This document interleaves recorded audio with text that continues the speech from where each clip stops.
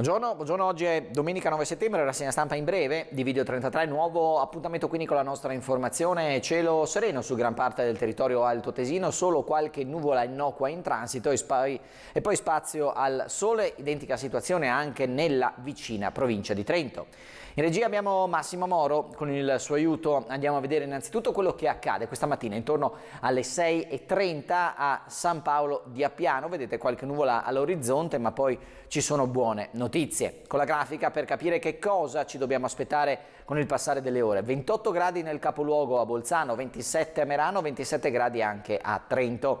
Andiamo a vedere la situazione nella vicina provincia di Trento, 27 gradi nel capoluogo, 28 gradi a Riva del Garda, 23 gradi a Pinzolo, 22 gradi a Cavalese e 22 gradi anche a Fiera di Primiero.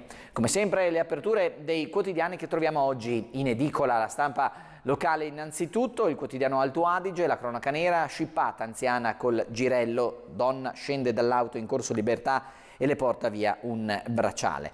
In Alto Adige un miliardo di evasione fiscale, lo studio da parte della Guardia di Finanza. Grande successo per la festa, la festa dello sport che ha invaso i prati del Talvera, oggi si replica. La cronaca a cura dell'inserto della domenica, Casabianca, i primi 18 mesi di Donald Trump sulla graticola del giornalista che con Bernstein svelò il caso Watergate. Il quotidiano L'Adige, per la cronaca dalla vicina provincia di Trento, cade dal sentiero e muore in Val di Fassa, una turista di Cuneo precipita per 80 metri. Lascia i fili in auto, è stata condannata, tutto questo è accaduto a Pinzolo e poi grande festa, grande successo per la due giorni di emergency a Trento, Gino Strada, protagonista della chiusura al teatro sociale. La cronaca per tornare ancora in provincia di Bolzano con il Corriere dell'Alto Adige, emergenza, pronto soccorso, nuovo presidio con specialisti, codice bianco, ticket dal mese di gennaio.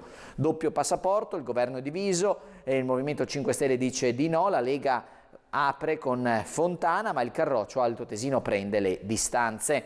Oggi è domenica, troviamo in edicola il settimanale Z al posto del quotidiano Dolomite per la cronaca in lingua tedesca il successo di Gerhard Kerschbaumer in Svizzera per quanto riguarda la Coppa del Mondo di eh, mountain bike, eh, soprattutto di cross country, secondo posto, medaglia d'argento, la realizzazione di un sogno. Andiamo a livello nazionale con il Corriere della Sera, giudici la frenata di Salvini, nessun golpe dei magistrati, il pressing dei 5 Stelle. La Lega, fondi bloccati, protesteremo in Europa. Per quanto riguarda il caso della nave 18, i PM vogliono sentire il vice premier. Oggi e domenica troviamo in edicola anche la Bild am Sonntag per la cronaca che arriva dalla Germania maggiore eh, pressione fiscale in Germania e quindi più soldi a disposizione dello Stato e degli enti locali, che cosa chiedono i cittadini? Chiedono più sicurezza, chiedono più servizi in ambito sociale e sanitario. Il Sole 24 Ore manovra avvio graduale per le tre riforme del governo, flat tax, reddito di cittadinanza e pensioni, queste le priorità del ministro Tria. Lifestyle, laureate, social e innovatrici, sempre più donne scelgono il lavoro del pastore, come si cambia vita anche in Italia.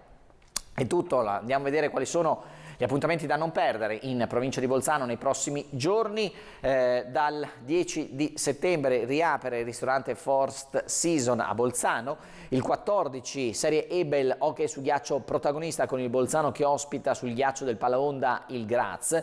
Dal 14 al 16 l'ottava festa della birra a Merano presso Forst.